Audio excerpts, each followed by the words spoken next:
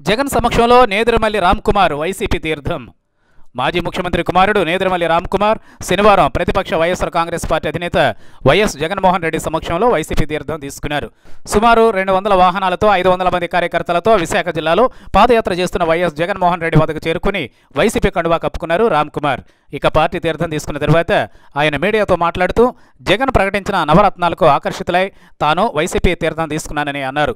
ప్రజా సంకల్ప యాత్రలో జగన్మోహన్ రెడ్డికి ప్రజలు బ్రహ్మరథం పడుతున్నారని ఆయన స్పష్టం చేశారు.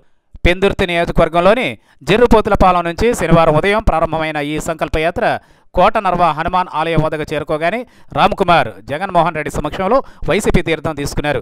అక్కడి నుంచి పశ్చిమ నియోజకవర్గం కొత్తపాలెం వరకు పాదయాత్ర కొనసాగుతుందని వైసీపీ జాతీయ ప్రధాన కార్యదర్శి విజయసాయిరెడ్డి స్పష్టం చేశారు.